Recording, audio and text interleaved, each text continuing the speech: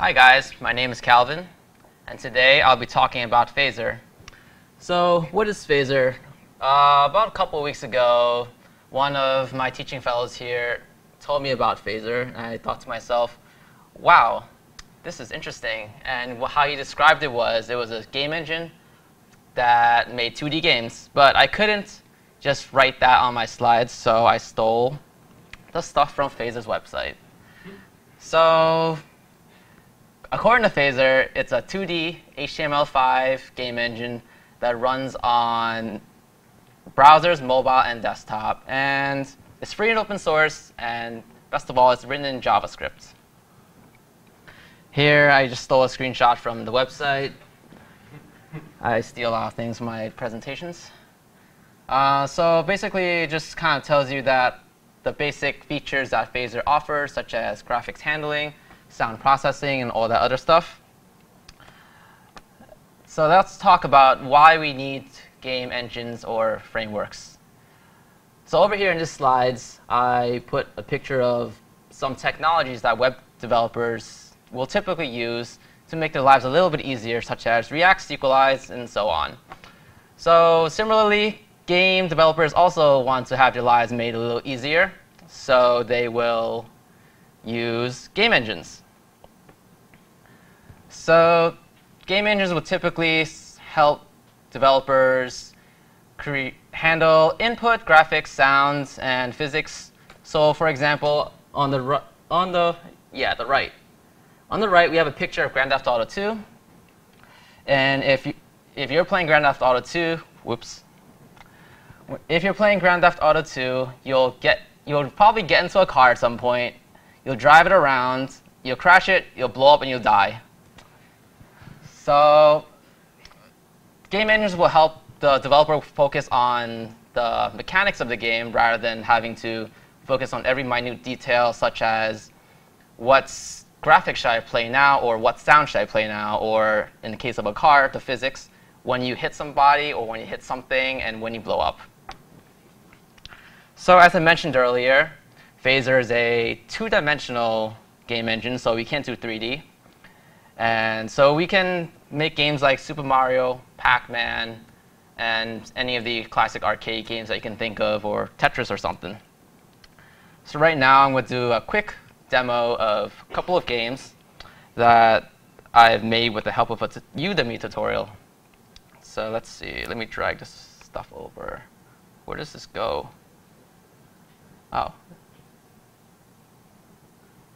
Okay. And also let me drag some of the code over too.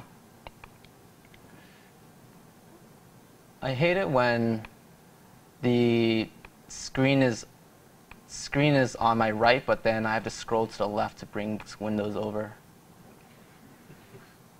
All right, so this here on the left, this game here, is a children's Animal Farm game, which teaches children uh, about farm animals, what they're called.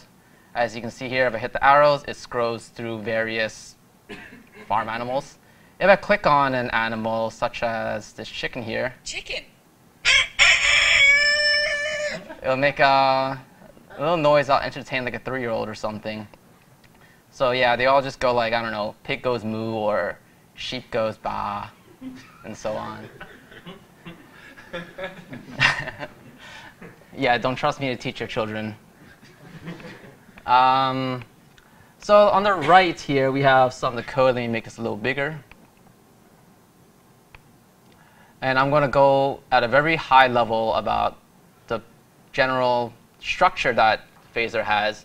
So you'll, so in Phaser, you typically have like a preload function, a create function, and an update function. There it is.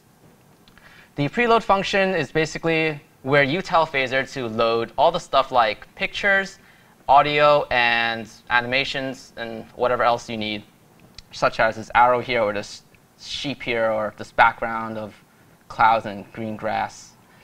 And then afterwards, after the create function will actually create the game, and it'll handle most of the logic.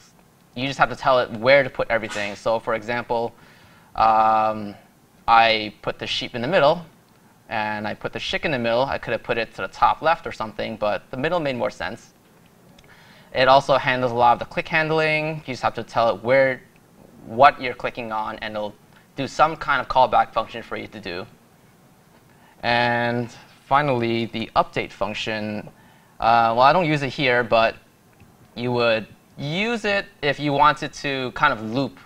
So for example, if I wanted to make this sheep spin in circles forever and ever and ever and ever and ever, I would use this update function, and I would tell it to spin forever and ever and ever and ever. And I have one more game that I just want to show.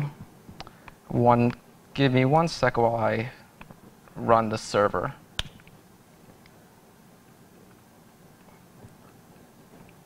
Let me get rid of this code here. Then make this bigger.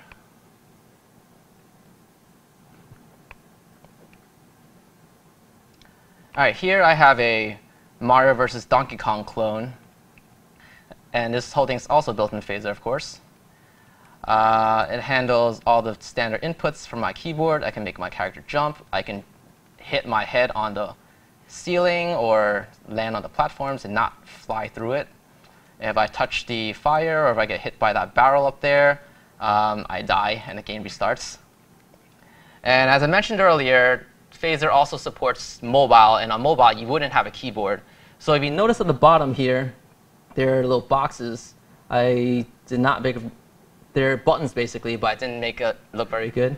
So this one makes you go right, this one makes you go left. You click on this, I jump. And yeah, that's basically my game and uh, some of the things that you can do with Phaser. And I have to give credit where it's due. Oh, I hate dragging this in. So this is Phaser's website, Phaser.io. And I also and these two games that you just saw, I created with I had the help of Pablo Navarro's Udemy course. He helped me kind of create this. I was very lost in the beginning. Um, any questions?